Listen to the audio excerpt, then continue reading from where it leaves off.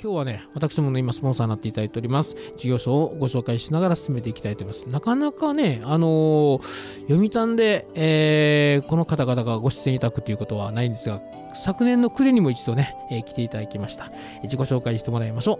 う。よろしくお願いします。あありがとうございます。2度目に、だ2度目の出演になります。株式会社タイミーの豊福と申します。よろしくお願いいたしよろます。しくお願いします。そしてもう一方、はい、株式会社タイミーのあの沖縄営業所に常駐しております藤野と申します。よろしくお願いします。よろしくお願いいたします。まあそんな、えータイミーというと、まあキャッチフレーズにお名刺にも書かれている通り、隙間バイトはタイミーということでございまして、まああのテレビなどの CM でもね、もう全国展開で本当にこう皆さんもご存知だと思いますが。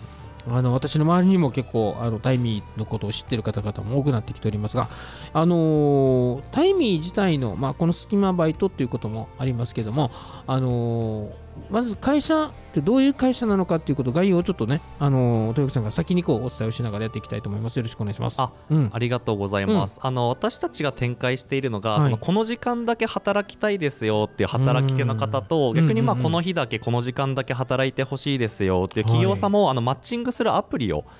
えっと、運営しているような会社になります。はいはいはい面白いよね。でも企業としても例えばそのまあこ働き方がねどんどん変わってきておりますからあの例えばこう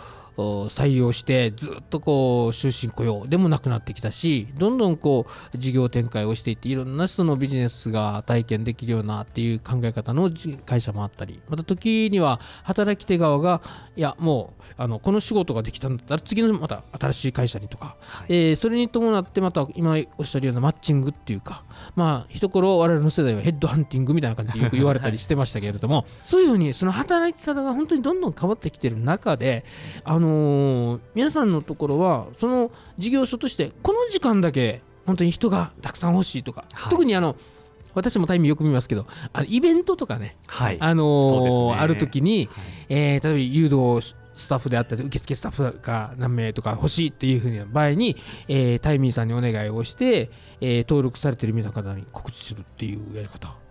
あれでまあまあ皆さんね最近はこう正社員で働いている人たちでもその空いてる時間、はい、えーまあ、休みの日とかねはい。えーそういう時にこう経験として働くっていうのもあるみたいなんですけどもそういうところに目をつけられたっていうのもすごいですよね。あそうですね、うん。本当にあの今おっしゃっていただいた通りで、今うん。ご登録いただいている方の4割ぐらいがうん。その正社員として、はい、お仕事をお持ちの方々になるので。えー。あのよく本当に言われるのがですね、あのまあ、求人広告かけても人集まらないしそのじゃあ派遣会社さんにお願いしても集まらないですよ、ただうん。タイミだと集まりますよねっていうふうに言っていただくことがものすごく増えてるんですけど、ねまあ、そういう正社員の方のご登録が多いとかっていうところもあってですね、あのまあ、なかなか他の媒体ではうんうん。こう訴求ができないうんうん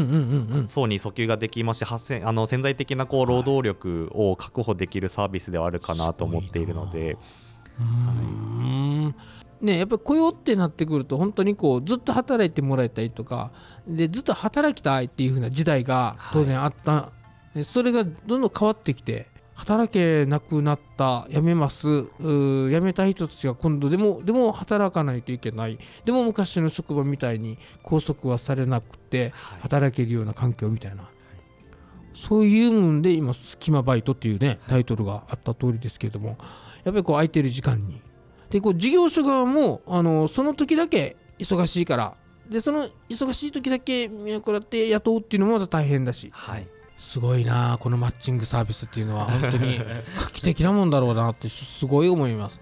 沖縄事務所ができたのはどれくらいなんですか？えっと、昨年の7月になるので、うん7月。は今8ヶ月とかぐらいになりますね。じゃあ昨年12月ってまあ本当にできて半年って感じだったんだね。あそうですね。ちょうど半年ぐらいのタイミングでしたね、前回が。藤野さんはい、常駐そうです。那覇の方に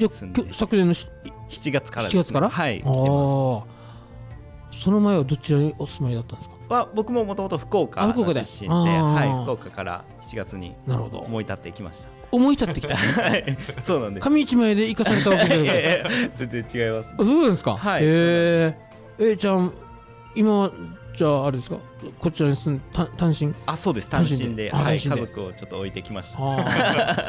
沖縄来られてどうですか？そういう事業所の展開っていうのはどういう感じでされてるんですか？はそうですね、やっぱりこう観光業だったりとかを最初はですね、中心にあのね。業活動をさせていただいてうん。うんいてそれこそまあホテルさんだったりとかの導入をいただいてたんですけどうん。最近はですねその小売店さんとかまあスーパーさんとかですねそういったところまあなのでこう皆さんのこう生活の日常で使うようなところとかもですね結構使っていただけるようなタイミングを使ってあの働けるようになってきてるかなとこれ事業所にとってはこのタイミーじゃあこれはそうですか？ああのそうですか？っていうかあのなんなん何そのタイミーさん例えばあの藤野さんみたいな方に連絡をしてはい。うち登録したいんですけどみたいな感じでやっちゃうんですか？あそうですね。ご連絡いただいてでそれこそどこの曜日が忙しいのかとかどういうところだったら人が足りないのかとかですうーねん。あとは具体的にどんな業務だったらお任せできるのか、うんうん例えばそれこそさっきおっしゃっていただいたみたいに、うん。スーパーさんだったらレジ打ちの経験がある方とかでも募集ができたりとかするのでなるほど。はい、そういう形でこうそういう人をこの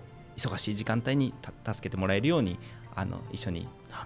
やらせていただいてますね。最後に一言ずつまたお願いしたいと思いますがあ、はいありがとうございます。うんあの今ですね、沖縄営業所の人員もどんどんあの増加して、よりこう沖縄県でですね、あの密着したあのサポートができるように、あの体制作っていっておりますので、あの人手不足に困られている企業様はぜひあの、お問い合わせいただければなというのと、あの働き手の皆さんもですね、タイミング使っていろんなあの事業者様でいろんな出会いをあのご経験いただければなと思っておりますので、ぜひよろしくお願いいたします。じゃあ藤野さんも一言はい、ありがとうございます。えっと、私もですね、あの沖縄に住んでいろんなこう人と関わらせていただいて、よりこういい出会いっていうのを沖縄の県内でより作っていけたらなというふうに思っているので、ぜひご登録いただいて、いろんな経験をタイミーを通じてですね、やっていただければなと思っております。ありがとうございました